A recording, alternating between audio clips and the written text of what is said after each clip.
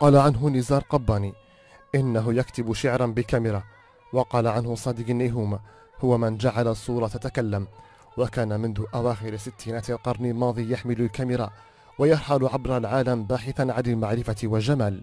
إنه الراحل فتحي العريبي الفنان الليبي المختلف منذ بداياته الأولى واصل البحث والتجديد في فن ظلت الأوساط الفنية والثقافية تنظر إلى ما يبدعه العريبي.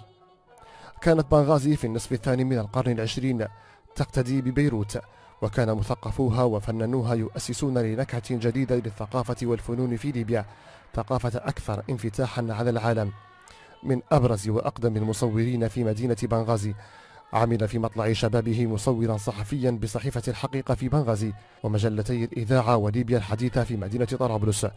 ثم تحول إلى التصوير السينمائي للأفلام الإخبارية والتسجيلية بإدارة الإعلام والثقافة.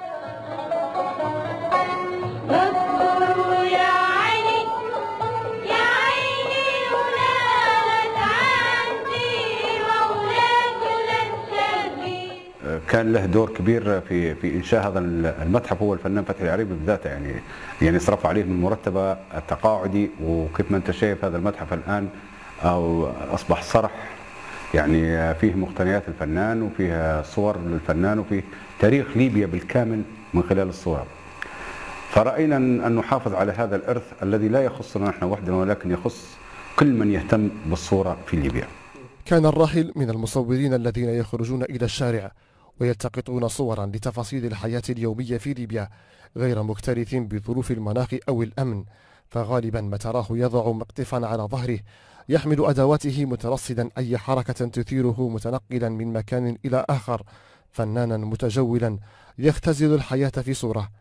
جمع العريبي أرشيفا فنيا كبيرا لليبيا وصورا وتسجيلات نادرة لبعض الكتاب الراحلين كصادق النيهوم وغيره كما أقام سلسلة من معارض التصوير يزيد عددها عن ستين معرضا داخل ليبيا وخارجها. هذا المتحف شيده أبناؤه ليعلو اسمه عاليا كما كان ذي قبل. رحل الفنان والكاتب الليبي فتحي العريبي تاركا وراءه ذاكرة كاملة من الصور ومجموعة مؤلفات من فن التصوير الفوتوغرافي. وتاريخ التصوير الصحفي. لقناة ليبيا الحدث محمد العزومي بنغازي.